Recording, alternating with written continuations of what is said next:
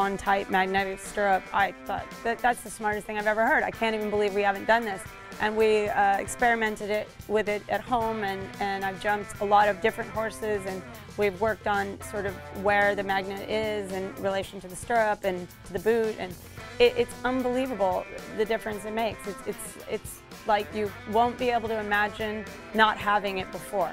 When I mount my horse, I often just throw my feet in the stirrups, the magnets click on, and then I raise my knee up and adjust it just with my hand so that I have exactly where I want it to be. The biggest concern people have before trying OnTyte stirrups is they feel like they're locked into their stirrups, they're locked onto their horse, and that if something goes wrong, they will not be able to just slip off the horse. It's just a magnet. It's, it's not gonna hold your body weight into your stirrups. It's, it only holds the stirrups in place on your foot. It doesn't hold you down. Getting off is no issue. People think it's going to be way more complicated than it is. Press your weight on the outside of your foot and then the inside of your foot pops up and then you just lift up and, it's, and it releases. It's no issue. And then once you get the right stirrup off, you can just swing your leg over and if you step down, the left stirrup pops right off. It's almost easier to ride with no stirrups than with one.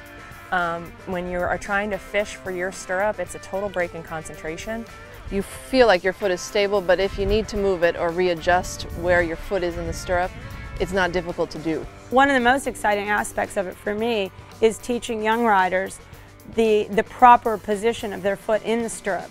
The idea that the stirrup has more stability for you to be able to get really down around your horse just creates a whole new contact and communication with the horse. The fact that your foot can't go to home is a huge safety issue for amateurs and adults. As for a professional, I, I think that you should go for every equipment advantage that you can get, and I do think it's an advantage to have OnTyte stirrups. There have been several occasions that I've lost my stirrup, and uh, say to walk into the Olympic Games knowing that I'm riding with the OnTyte stirrup, um, would be a real comfort. It would just take that one worry away.